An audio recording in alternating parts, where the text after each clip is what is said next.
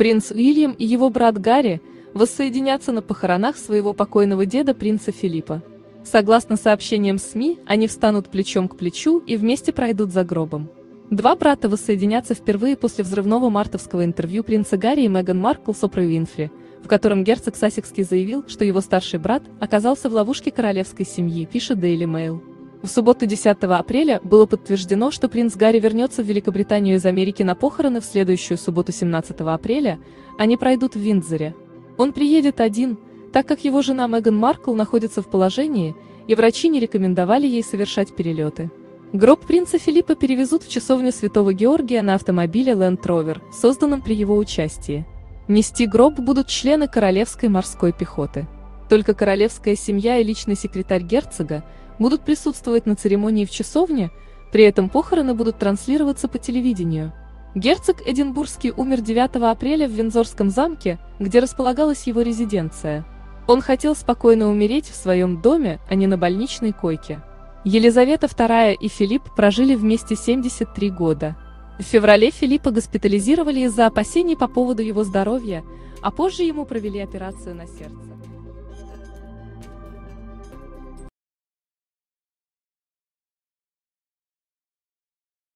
Принц Гарри уже обсудил со своей семьей возвращение в Великобританию, чтобы почтить память и присутствовать на похоронах принца Филиппа.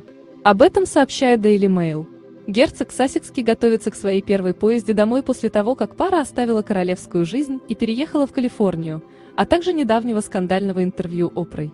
Ожидается, что Меган Маркл, герцогиня Сассекская, не отправится вместе с супругом в Великобританию, а останется в Калифорнии. Маркл, скорее всего, останется дома – так как беременная вторым ребенком.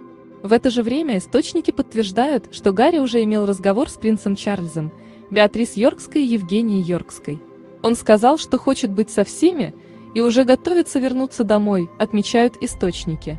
Ранее герцоги Сассекские почтили память принца Филиппа на своем веб-сайте, разместив сообщение «Спасибо за вашу службу, вас будет очень не хватать». Возвращение принца Гарри в Великобританию на похороны деда станет поворотным моментом для рассорившейся королевской семьи. Ожидается, что Гарри будет присутствовать на траурном мероприятии в часовне Святого Георгия на следующей неделе. Скорее всего, Гарри прилетит в Лондон на частном самолете и может стать исключением из обычных карантинных правил, применяемых к рейсам из США. Принца проверят на COVID-19 перед вылетом из США и по прибытию в Великобританию, но на 10-дневный карантин герцога Сассекского не отправят. Пока неизвестно, где принц Гарри остановится по прилету в Лондон и как долго задержится в городе после похорон. Воссоединение герцога Сассекского с его братом Уильямом и отцом принцем Чарльзом будет достаточно неловким из-за напряженной ситуации в семье. Королевские источники считают, что первая встреча братьев за более чем год может стать первым шагом к примирению. Если же Меган присоединится к Гарри на похоронах, королевское сближение считается маловероятным, Особенно после того, как Меган рассказала Апре, что Кейт Миддлтон заставила ее плакать во время подготовки к свадьбе.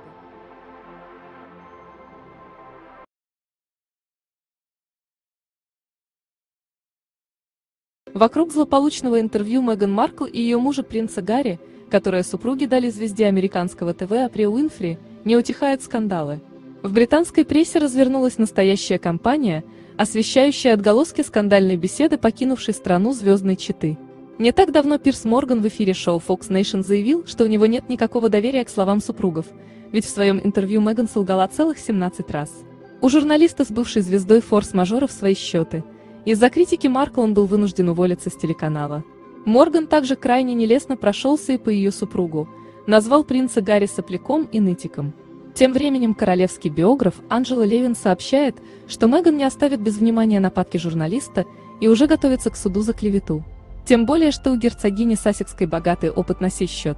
Не так давно она выиграла дело против одного британского таблоида, который опубликовал отрывки из ее частной переписки с отцом. Левин утверждает, что адвокаты звездной семьи уже вплотную изучают громкие разоблачения Моргана, чтобы найти в них судебный прецедент. Меган очень решительная женщина. Неважно, глубоко беременна она или нет, она захочет дать отпор. Пирс тоже очень храбрый, однако сейчас ее адвокаты пристально изучают каждое его слово, чтобы найти хоть какую-либо зацепку. Она попытается заткнуть его, настаивает Левин. Тем временем Пирс Морган утверждает, что члены королевской семьи выразили ему благодарность за то, что он защищает их интересы, высказавшись против Меган, не уточнив, однако, имен.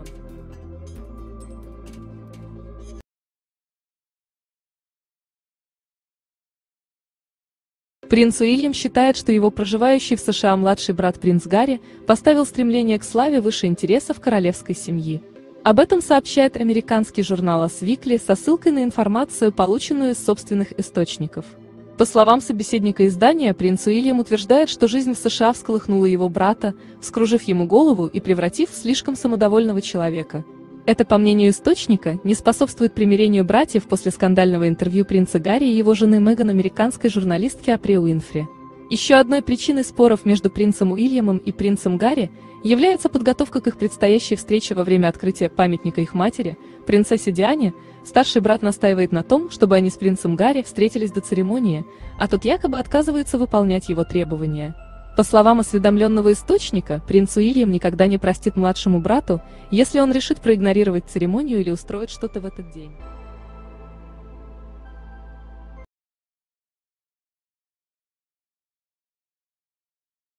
После скандального телеинтервью 39-летней Меган Маркл и 36-летнего принца Гарри Апри Уинфри продолжают всплывать все новые и новые подробности закулисной жизни британской королевской семьи.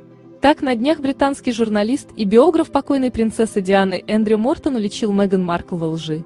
Мортон убежден, что герцогиня Сассекская слукавила, когда в интервью Апри заявила, что их жизнь с Гарри во дворце была невыносимой.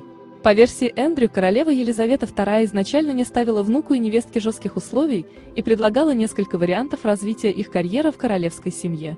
По словам Эндрю, королева Елизавета II даже была согласна на то, чтобы Меган совмещала выполнение своих королевских обязанностей со своей основной профессией и любимым делом – съемками в кино и сериалах. Справедливости ради стоит отметить, что королева Елизавета II дала Меган и Гарри возможность сделать все, что заблагорассудится. Королевская семья даже сказала Меган, «Если ты не хочешь полноценно выполнять свои королевские обязанности, пожалуйста, продолжай заниматься актерством». Все эти возможности были для нее доступны – рассказал Мортон в подкасте Royally Obsessed. Биограф принцессы Дианы также уточнил, что принц Гарри и Меган Маркл могли путешествовать по всему миру. По словам Эндрю, супруги всегда могли улететь в любую страну первым классом. Кроме того, королевская семья даже была готова сделать их начинающими послами любого выбранного ими государства. Несколькими днями ранее в беседе с Daily Mail Эндрю Мортон также обвинил Меган Маркл во лжи. Он рассказал, что Меган вела вполне обычную жизнь, будучи старшим членом королевской семьи. Он опроверг заявление герцогини о том, что ее практически не выпускали из дворца и даже отнимали у нее водительские права и паспорт. По словам Мортона, Меган регулярно встречалась с друзьями в ресторанах и ходила в супермаркет неподалеку от Кенсингтонского дворца.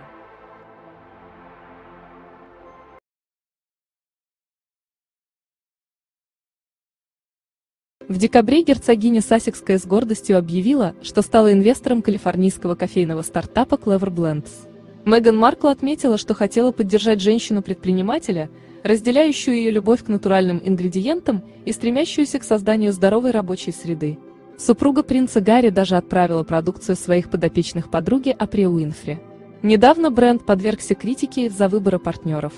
По сообщению The Mail on Sunday, в прошлом году компания закупила около 19 тонн сухого овсяного молока у организации, головной офис которой находится в столице Синьцзян-Уйгурского автономного района. Многие компании отказались от закупок сырья, производимого в этом регионе, из-за нарушения прав его коренных жителей, уйгуров и использования арабского труда. Например, так поступил шведский бренд H&M, из-за чего в Китае ему объявили бойкот. Представители стартапа отметили, что не знали о проблеме в регионе и сознательно никогда бы не стали работать с компаниями с такой репутацией. В настоящее время мы закупаем сухое овсяное молоко у поставщика из США, который использует выращенный в Канаде овес, добавили в Clever Blends. Меган Маркл пока не прокомментировала ситуацию. Источники из ее близкого окружения отметили, что герцогиня никогда бы не стала работать с организацией, которая не поддерживает высочайшие этические стандарты и не защищает права человека.